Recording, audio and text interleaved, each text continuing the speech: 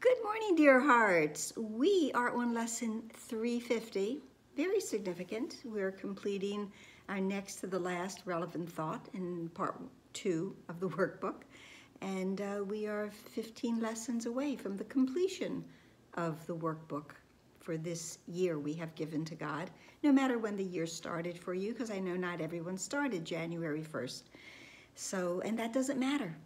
It really doesn't matter. It's if someone doesn't start on the 1st of January, tell them it doesn't matter. Tell them they can start any day. Any day is the perfect day to start to train our minds and untrain our minds, have a, a new thought system going forward. So, um, did I say please subscribe? Please subscribe. I didn't think I did. So, lesson 350 Miracles mirror God's eternal love. His eternal love for us is offered through miracles. Miracles are of God, and they signify life everlasting, love eternal. They're the thoughts from a whole mind that only reflect the truth. That's what a miracle does. It only reflects the truth. The first line of what is a miracle is a miracle is a correction.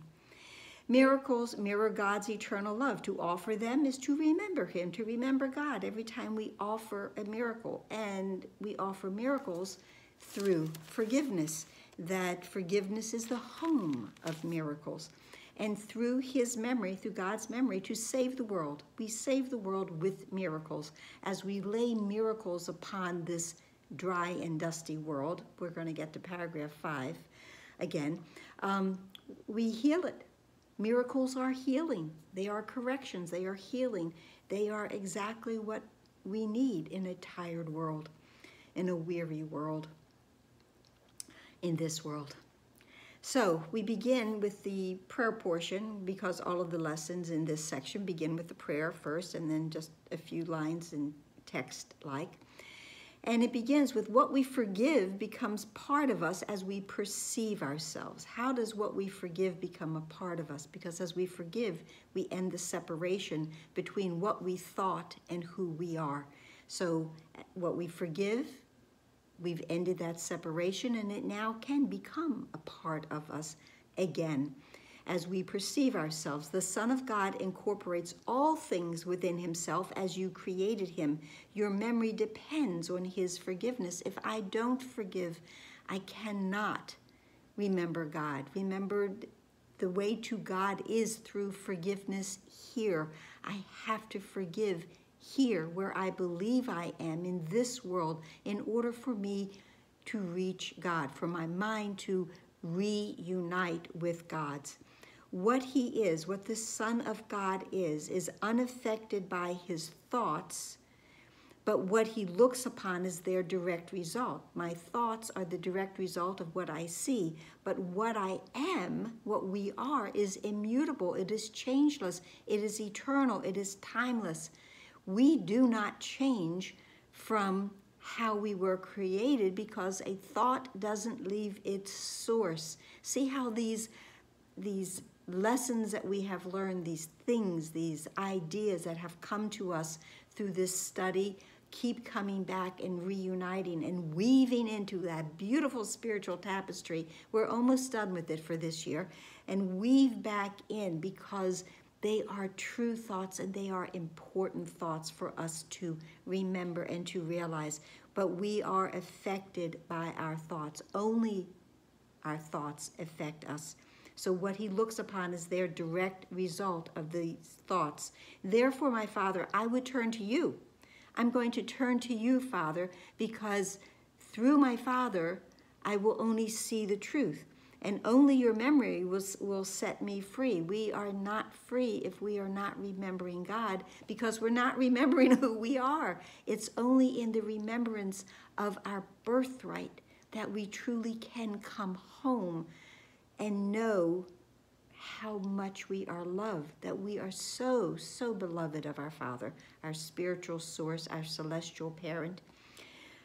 So only your memory will set me free, and only my forgiveness teaches me to let your memory return to me and give it to the world in thankfulness.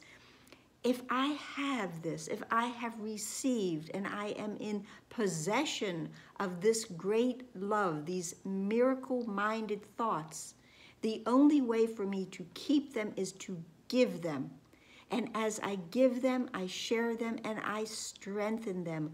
What we share, we strengthen. Also, a thought from a while ago, part one of the workbook, we learned that.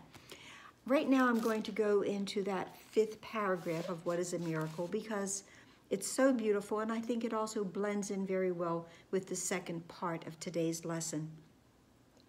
So, miracles fall like drops of healing rain, healing rain from heaven, healing rain from heaven on a dry and dusty world where starved and thirsty creatures come to die.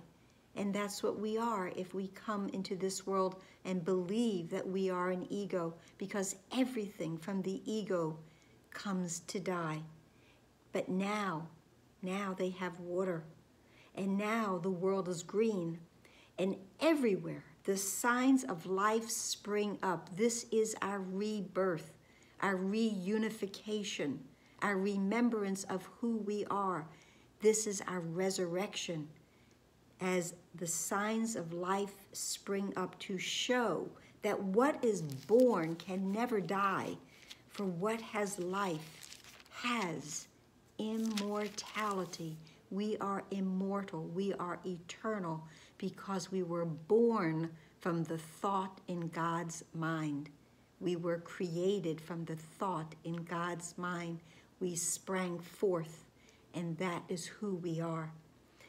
And then the second part of today's lesson. And as we gather miracles from Him, from this beautiful healing rain, we will indeed be grateful. For as we remember Him, as we remember God, His Son, His child, will be restored to us in the reality of love. We will have a family reunion. The Father and the Son, mother and child reunion, father and child reunion, together again at last for the first time and for all time. We are one again, and the miracles have brought us there. The corrections in our mind have brought us here today, and we will never leave.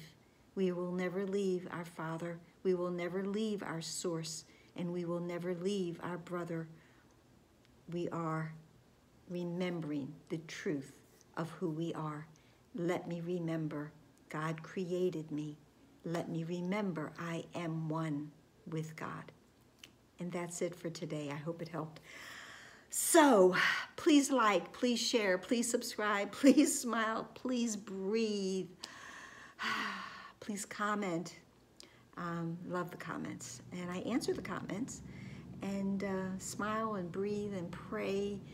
Pray for today to be all miracles all the time. Namaste.